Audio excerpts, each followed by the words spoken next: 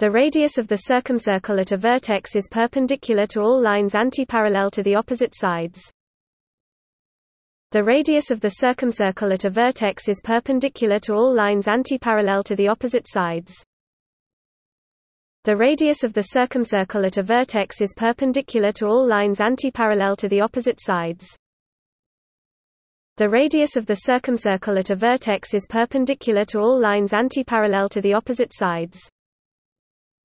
The radius of the circumcircle at a vertex is perpendicular to all lines antiparallel to the opposite sides. The radius of the circumcircle at a vertex is perpendicular to all lines antiparallel to the opposite sides.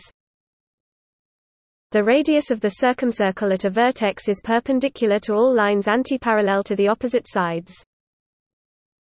The radius of the circumcircle at a vertex is perpendicular to all lines antiparallel to the opposite sides. The radius of the circumcircle at a vertex is perpendicular to all lines antiparallel to the opposite sides. The radius of the circumcircle at a vertex is perpendicular to all lines antiparallel to the opposite sides.